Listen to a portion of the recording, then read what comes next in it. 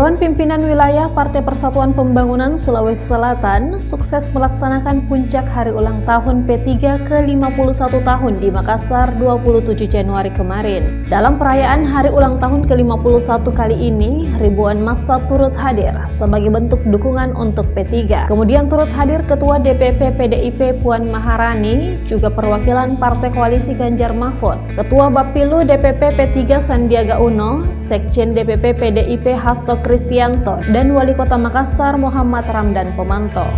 Ketua DPW P3 Sulsel Imam Fauzan dalam sambutannya mengatakan jika kebesaran suatu partai bukan dilihat siapa-siapa saja orang di dalamnya, berapa uang partai dan program apa yang mereka jalankan. Tapi besarnya suatu partai ditentukan seberapa besar kadernya duduk di DPR.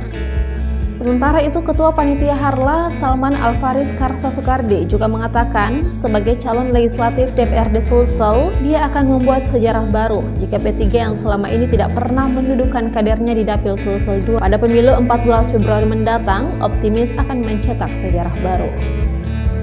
Hal menarik yang juga menjadi sorotan dalam puncak acara ini, selain memberikan doa dan harapannya agar P3 bisa menjadi kuat, berkah, dan menang di pemilu 2024, Puan Maharani juga memberikan pujian kepada Ketua Panitia Harlah Salman Al-Faris Karsa Soekardi, di mana saat memberikan sambutan, anak muda partai berlambang Ka'bah tersebut dinilai memiliki etika luar biasa.